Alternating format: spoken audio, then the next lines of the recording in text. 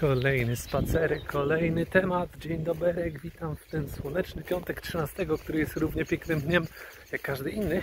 Dziś porozmawiamy sobie na temat jednej z rzeczy, którą wiele osób robi. Jeśli jesteś tą osobą, to będziesz od razu wiedzieć, którą robią ludzie, którzy tacy jak ja nawet. Ja też to robię.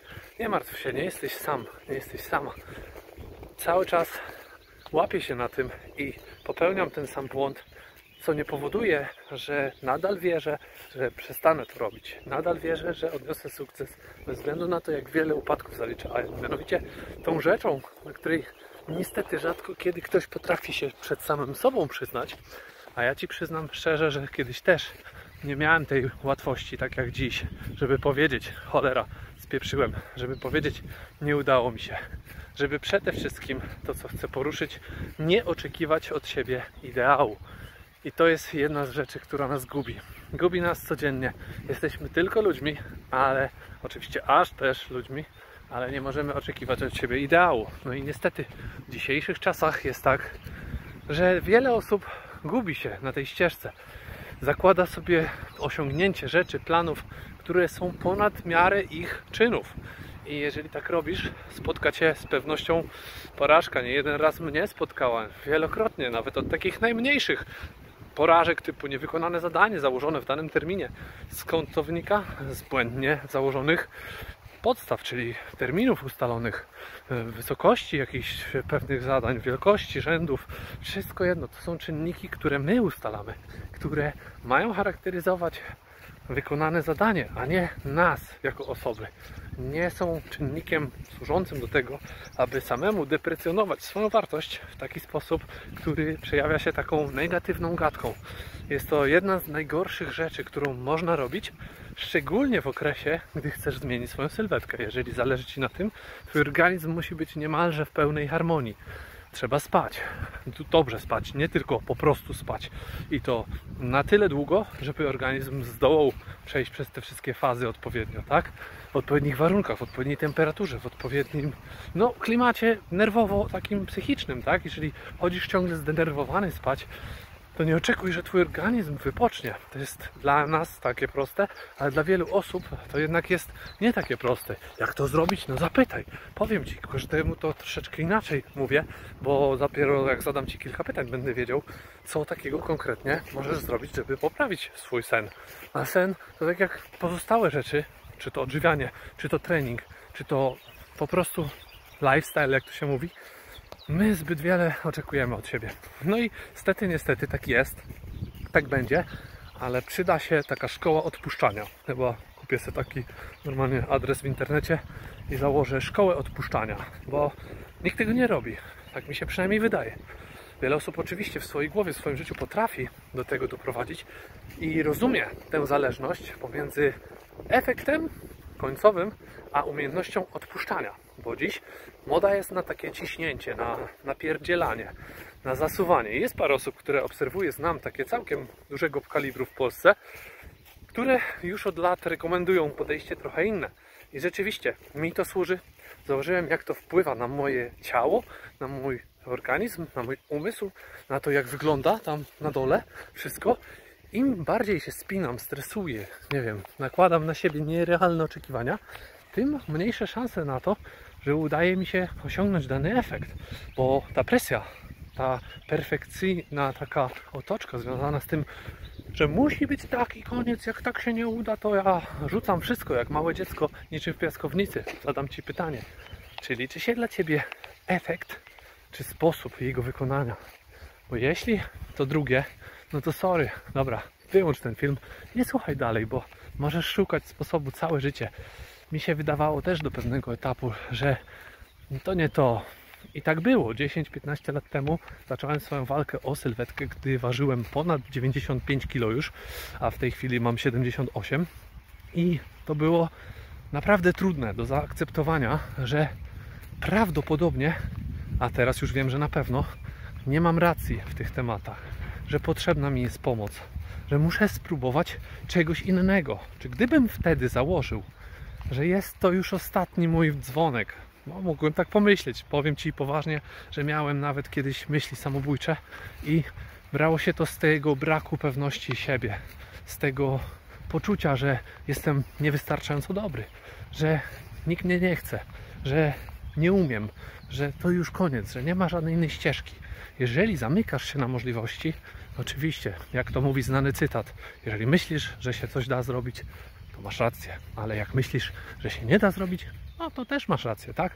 Zawsze sobie stworzysz drogę, ścieżkę taką, która będzie dążyła w tym kierunku, który w Twojej głowie jest uważany za prawidłowy, albo za ten jedyny, niekoniecznie prawidłowy, ale ten, którego będziesz podświadomie szukać, to jest ten, który uznajesz za swoje przeznaczenie, los, różni ludzie to nazywają. I bierze się właśnie z tego poczucia nie do końca doskonałości, z tego oczekiwania perfekcyjności, takiej, że muszę być taki lub taka w tym momencie, bo jak nie, no to wtedy dopisujesz sobie różne historie. Ile razy tak zrobiłaś? Powiedz mi uczciwie, szczerze, napisz do mnie bezpośrednio, czy taka sytuacja kiedykolwiek miała w Twoim miejscu, a na pewno postaram się podpowiedzieć, co zrobić. Oczywiście już teraz chcę dać Ci jakieś rozwiązania, bo nie po to tutaj to wszystko sobie nagrywam, nie po to chodzę z tą kamerą i gadam w zasadzie do siebie na łące, nie ma tu nikogo, ale robię to po to, żeby trafić do Twojego umysłu, bo moim zdaniem tam siedzą klucze do wszystkich rozwiązań, do wszystkich problemów w naszym życiu. Skądś te idee, te czyny, te słowa, te wszystkie rzeczy, które robimy, się biorą. One nie biorą się z powietrza, nie biorą się, nie wiem, z komputera, nie biorą się od innych ludzi, choć czerpiemy inspirację na pewno, ale biorą się z Twojej poczucia, Twojej wartości, z poczucia Twojego zaangażowania, z tego, co gdzieś widziałeś i chcesz, z tego, dlaczego to chcesz. Czy Ty to rozumiesz, czy nie, również ma wpływ na to, w jakim stopniu będziesz oczekiwać poziomu realizacji tych celów, bo nakładanie na siebie nadmiernie ambitnych celów jest równie złe, jeśli nie gorsze, niż nieposiadanie żadnych celów. Człowiek, który nie ma celów, ale chce po prostu przeżyć z dnia na dzień, potrafi być dużo szczęśliwszy niż ludzie, którzy nakładają sobie cele, które są nad wyraz ambitne, przesadnie ambitne i niszczą ich od środka. Powiem Ci szczerze, że miałem coś takiego i to całkiem do niedawna. Cały czas nie dawało mi to spać, cały czas denerwowałem się, cały czas chodziłem, aż pewnego dnia coś w mojej głowie, uj, zaatakował mnie bąk, coś w mojej głowie, jeszcze adrenalinka pojawiła, poruszyło się, kontynuując tę myśl, poruszyło się do tego stopnia, że tak jakbyś to w sejfie ostatnią cyfrę kodu zaaplikował na cyferblacie, wcześniej można było, jak to często mówię, kopać. Można było tam ciężarówką próbować to przesunąć, dynamitem. No nie da rady tego sejfu było otworzyć.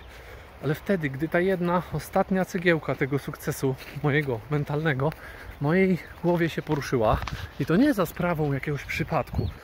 Wszystkie te błędy, które wcześniej popełniłem, wszystkie te typy, rodzaje myślenia, wszystkie sytuacje życiowe, drogi, które pokonałem, wiodły mnie w tym kierunku. Wszyscy ludzie, których poznałem, z którymi miałem doświadczenia, pracować, obcować, uczyć się od nich, sprawili, że udało mi się tę ścieżkę pokonać. To nie jest jakaś magia.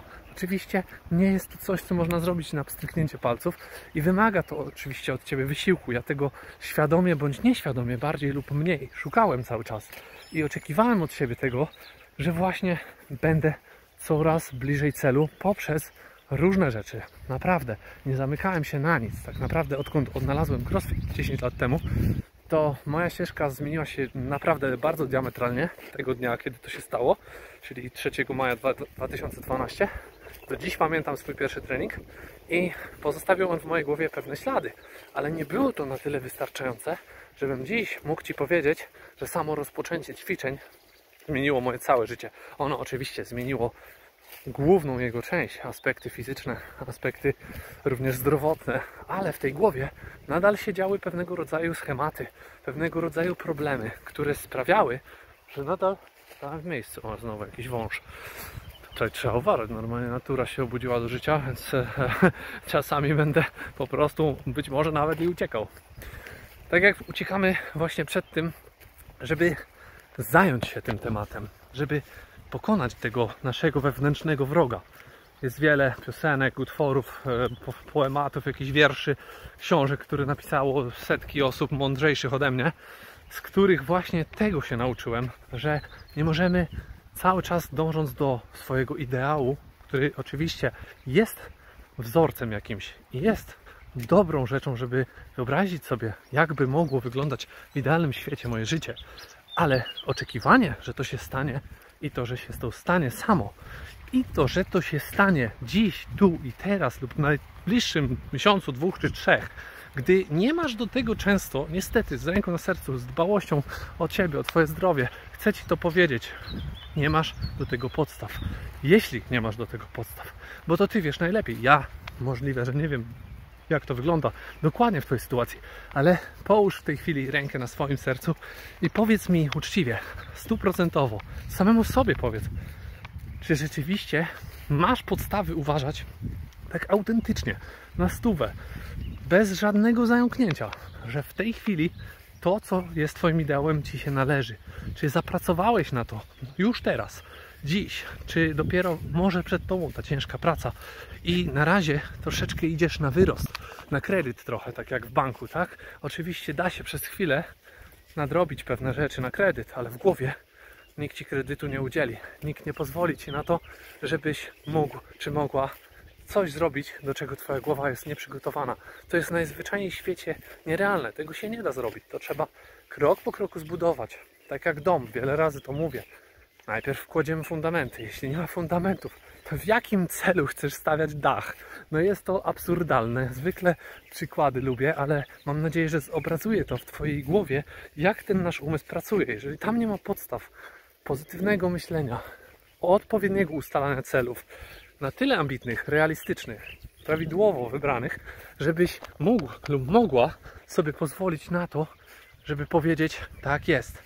Być może mi się nie udało 100%, ale te 90 satysfakcjonuje mnie, bo jest to odpowiedni poziom do moich możliwości, które cały czas pracuję nad tym, żeby zwiększać. Więc nie są to jakieś moje brednie, o których sobie pomyślałem, że na przykład, nie wiem, każdy o tej wadze skupiamy się często, jeżeli chodzi o nasze sylwetki, zdrowie. No to jeśli ważę 100 kilo, a nie wiem, być może 20 lat temu ważyłem, ważyłam przez 60 i dziś nagle sobie wymyśliłam, że tak się czułam dobrze i nagle nic tego nizowego zakładam, że to jest moja właściwa waga, no to popełniam już tutaj na tym etapie duży błąd, ponieważ tak naprawdę to nie jest moja właściwa waga.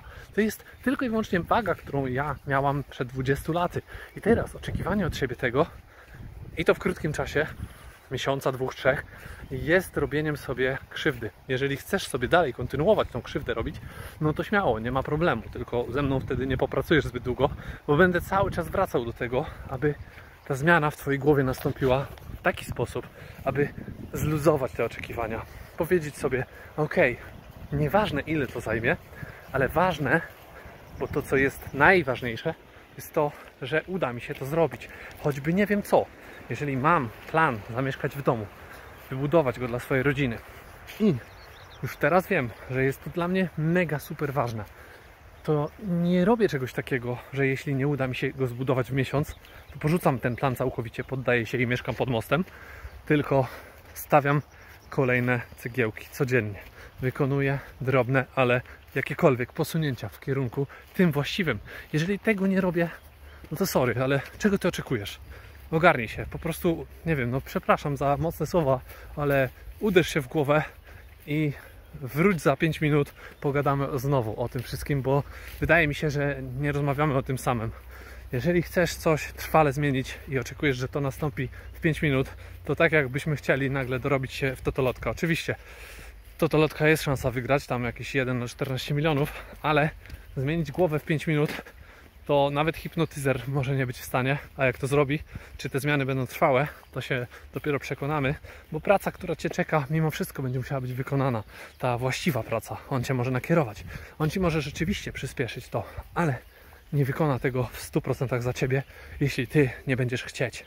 I tej woli brakującej nic nie zastąpi, bo nawet hipnotyzer, nawet magiczna pigułka, jakby się połknął czy połknęła, nie sprawi, wbrew Twojej woli, że jakiekolwiek zmiany zajdą a oczekiwanie tego perfekcjonizmu jest tu jednym z takich blokerów, którzy, które stoją na Twojej ścieżce.